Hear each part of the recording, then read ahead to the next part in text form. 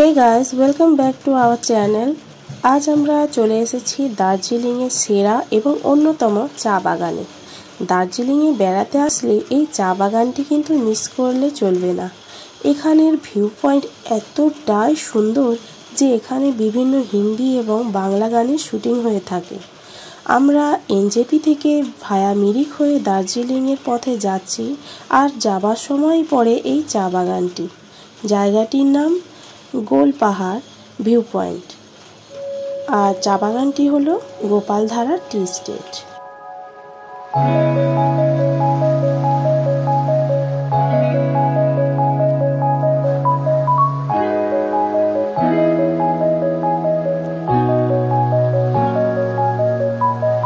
Thank you.